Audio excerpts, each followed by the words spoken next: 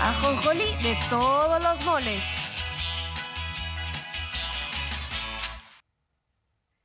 Bueno, ya decíamos que los agarraron con las manos en la puerta a estos ministros Pérez, Dayán y Luis María Aguilar, que estaban a punto de darle un amparo a una transnacional. Eh, eh, francesa para, de alguna manera, dinamitar la ley de la industria eléctrica. Y ayer la Secretaría de Energía metió un recurso diciendo, a ver, hay que revisar, porque los que van a definir hay un conflicto de interés, entendemos que se tiene eh, que revisar esto y si se da la razón, pues ya tendrían que excluir a estos ministros ¿no? de esta decisión. Sí, que este conflicto de intereses específicamente el que está en esta investigación de contralínea que ayer fue presentada en la conferencia matutina, que tiene que ver con que los ministros también forman parte de este órgano de, de abogados que está promoviendo los amparos. Entonces es juez y parte y bueno, ya se ve que esto eh, pues sí se escuchó en algún, en algún lugar y entonces sigue el litigio, eso no está cocinado, vamos a ver qué pasa y aquí le vamos a informar. Y a propósito de temas eh, energéticos, eléctricos, de recursos estratégicos, se habló de litio, pero específicamente sobre el futuro de la concesión de la empresa Ganfeng Lithium, en donde el presidente dice, pues esto se está revisando porque como sabemos, las concesiones que se tenían no se quitaron, no hay nuevas concesiones eh, mineras y definitivamente no hay concesiones para explotar el litio, que desde que se hizo la reforma se considera ya un recurso estratégico. Así es. Vamos a escuchar. Se está eh, revisando eh, porque las concesiones mineras se entregaban básicamente para la explotación de oro, de plata, de cobre, no de litio.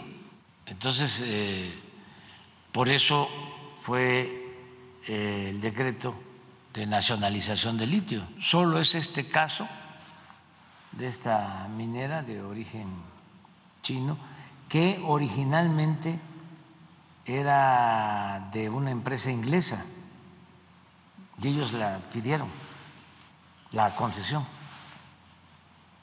Entonces estamos revisando eso legalmente, pero eh, nosotros hemos tomado la decisión de que el litio sea de la nación, porque es un mineral estratégico. Y, vamos a, a darle seguimiento legal al decreto de nacionalización.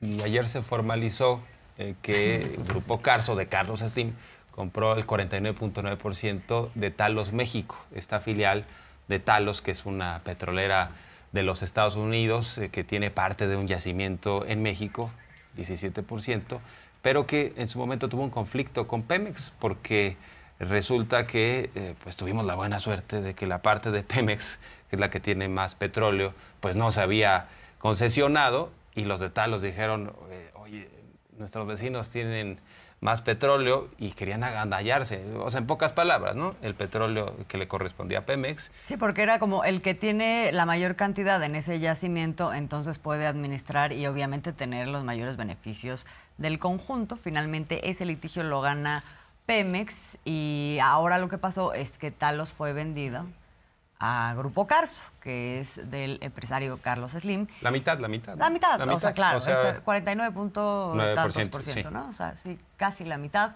Y el presidente le preguntan hoy a propósito de que entre en vigor, ¿no? Este este trato y pues dice él está de acuerdo, incluso dice eh, es importante que haya una mayor inversión por parte de empresarios mexicanos, ¿no? Y más en ese momento en donde están ocurriendo cosas estratégicas en el país, algunos lugares están planteando como como el istmo de Tehuantepec, verdaderamente estratégicos, en donde eh, tienen que entrarle más, porque históricamente pues no precisamente ha sido así, ¿no? Más, así es. Más bien han traficado influencias. Ahorita está ocurriendo otra cosa, dice el presidente, estoy de acuerdo y además nos ayuda.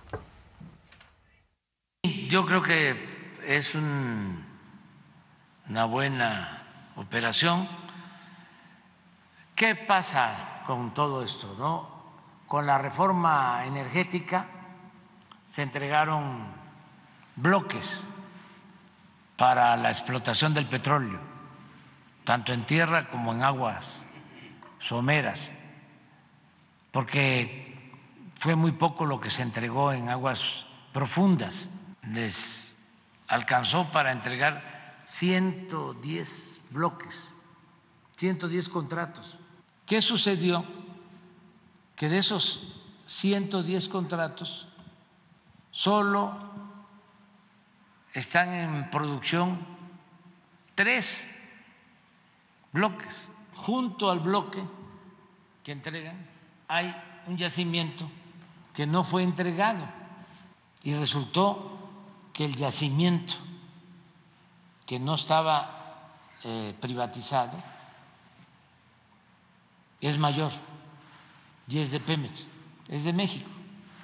Y Carlos Slim adquirió acciones de la empresa